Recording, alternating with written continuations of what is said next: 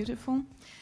Well, um, anyway, uh, my name is Kate, um, probably more well known as uh, Kate Goes Tech. And indeed, today I'm going to be speaking about uh, Warren Buffett and how his investment methodology could be potentially applied to crypto.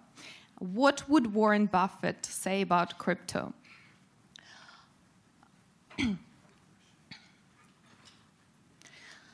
but um, to begin with, I'd like to ask you guys who is here with us from FTX or Luna? Maybe Three Arrows Capital? Anyone? Can you raise your hands, please? Wow, okay. Well, interestingly, those companies were considered a ravishing success a year ago, as far as I remember. They're not here with us now, unfortunately. The thing is, we all make mistakes, but we are all here today because we did some things right. So, congrats, everyone. I think this is a great indication for our industry and obviously for our careers that we've been at the right place at the right time. So let's talk a little bit about the evolution of crypto within the last um, three years or so.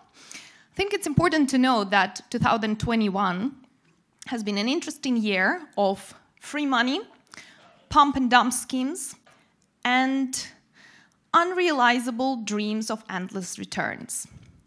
No wonder 2022 has been a year of retribution with about 10 crypto unicorns going bust, taking billions of customers' money with them.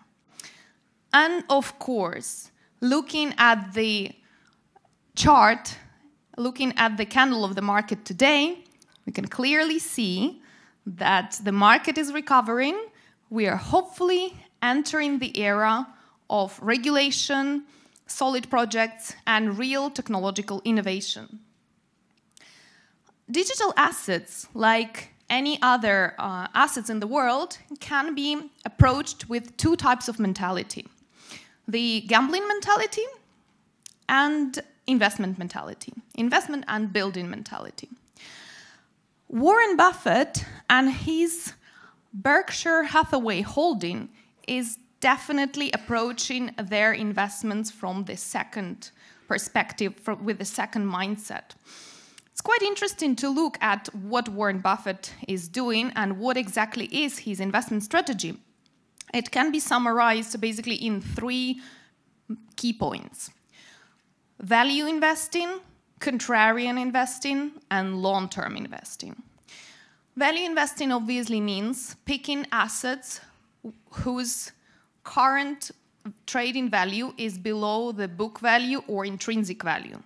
Contrarian means buy when others are selling, sell when the crowd is buying. And my favorite one, the long term investing, where Buffett is saying, don't even think about buying a stock for 10 minutes if you are not willing to hold it for 10 years. This type of investing is probably not that common today. It's more of a traditional investing, but nevertheless, let's see what Warren Buffett would be saying about our industry and investing in our industry. Well, Warren Buffett is not exactly a big fan of Bitcoin. Why? Well, first of all, he says that this asset is not productive. It does not generate anything.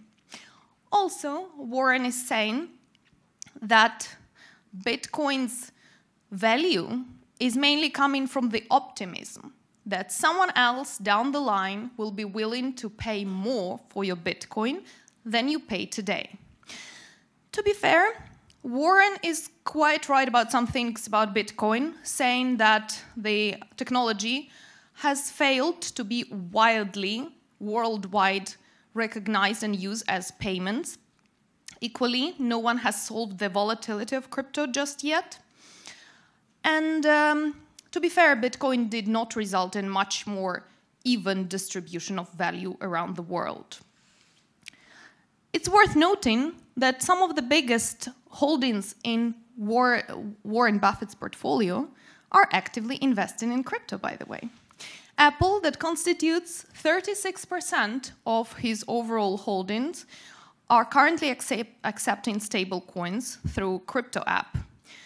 Coca-Cola has partnered with a crypto exchange in 2022, Qatar Games, to release their exclusive NFTs. So I'd like to talk actually about whether Bitcoin and crypto has any value at all, apart from optimism. Well, I would argue that yes. Cryptocurrency has produced huge amount of value throughout the world. There is nothing like international crypto payment. There is just a crypto transfer. It's much faster and usually much cheaper than traditional fiat transfers. Smart contracts help to eliminate the third parties and clearing houses, reducing the value, the cost of transactions further. People in politically unstable countries have been investing in Bitcoin for over a decade, starting all the way with Venezuela to Ukraine and Russia this day because of the major war going on in the continent. Equally, you can become a shareholder of a project you're interested in without the need to go through VC, a lot of KYC processes, and filling out various applications proving that you are a very sophisticated institutional investor.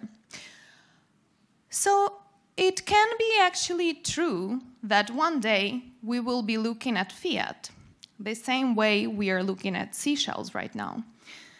Money is evolving technology is evolving, and the distribution and popularity of Bitcoin with this, this 15 years only shows that we are definitely onto something big. And if you look at statistics, over 90% of crypto holders are the youngest generations, millennials and Gen Z, the people who are defining the future.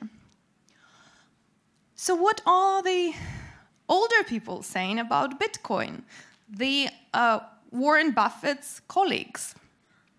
Well, they are quite skeptical about Bitcoin, to be fair. However, both George Soros and Ray Dalio are allocating a considerable percentage of their wealth into Bitcoin, while saying that it is very fast taking the golden's market share.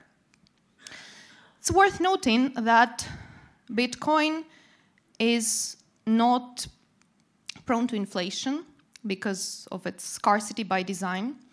It's absolutely not hackable, no matter how many people try to hack it.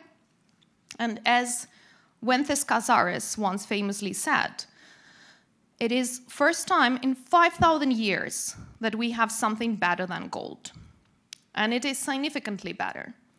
Bitcoin is more divisible, more durable, more storable, and easier to transport. It could definitely be true that we are on to a new type of value around the world. By the way, these guys would have absolutely no issue shorting Bitcoin. Maybe some of you know what George Soros has done to pound and some other interesting asset classes. However, they do not do that.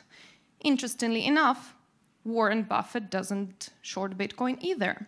And he famously said that no one in the world is short on Bitcoin long term, even though he, he says he does not understand Bitcoin.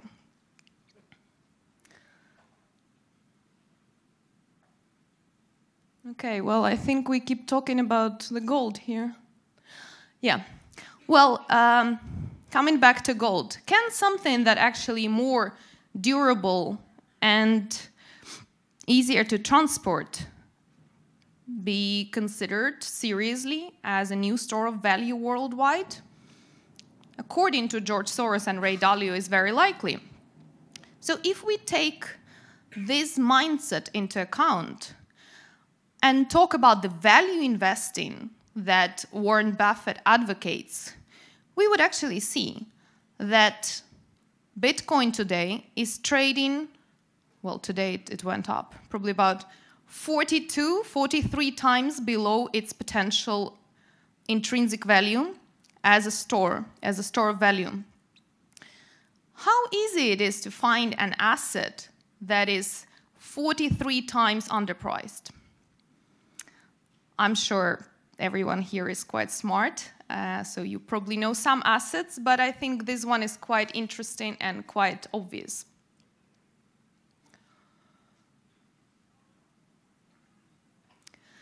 And before you tell me that I'm absolutely crazy and it's outrageous to think that Bitcoin can be considered a new currency or a new store of value, let's look at some other ones throughout history.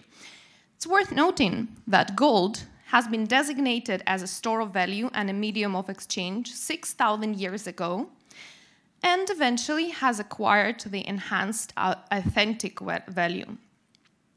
Equally, People are very happy to invest in diamonds and present it as the token of appreciation and their love. However, diamonds are not scarce at all if you research this.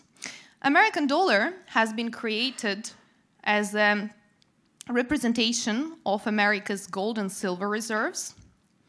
Today, it's being used by the Fed to control the economy. According to Warren Buffett's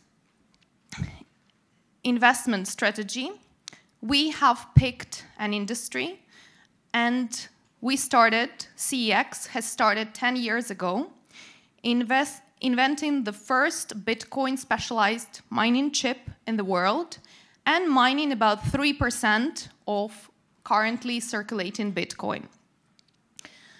Since then, we have grown to about 6 million customers across 194 geographies. And we have seen that customers in TradFi and crypto have quite similar types of problems. It is very frustrating to be looking for the best price across the market throughout different exchanges. Your crypto, just as your fiat, is prone to inflation. Also, can you actually trust the person, the institution you leave your money with for custody? I guess we all know FTX here, right?